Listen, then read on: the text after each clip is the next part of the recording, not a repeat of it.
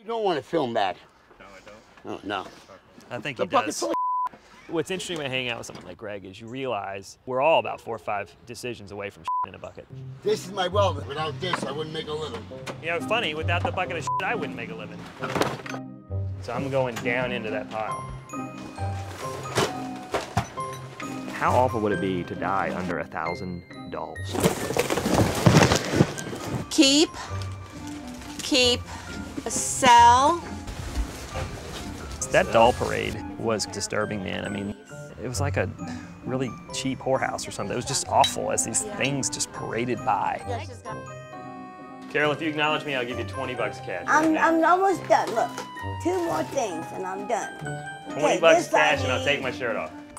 Your intention, though, is to do what with that Adele? It hangs in a person's Right. kitchen. There's a wall. Let's go hang it. If this is what it's for, let's do it. That's what it is for, and I can't get in my kitchen right now. I'm gonna go hang this in your kitchen. Okay. That looks lovely. Antique rake. I've Yeah. found smells that I've never smelled before in my entire life.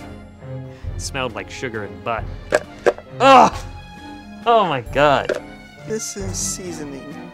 So yeah, but it's not maggot going to- larvae are not seasoned. Even the bugs died off and said, screw it, this is gross, we're out of here.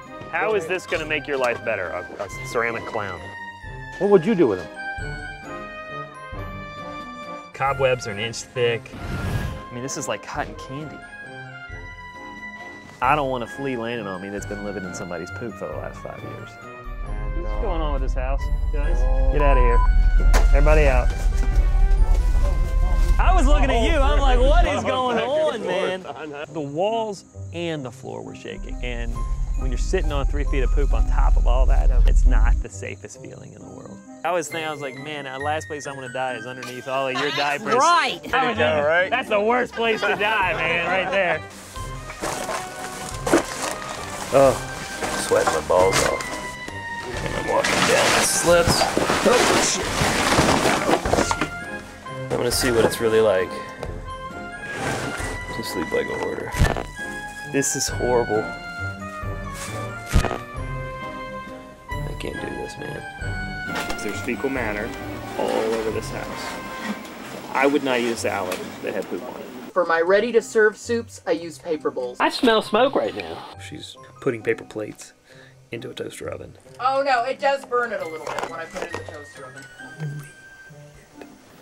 This is the end of you pooping in a bucket. So every time you're gonna go to the bathroom, where are you gonna go?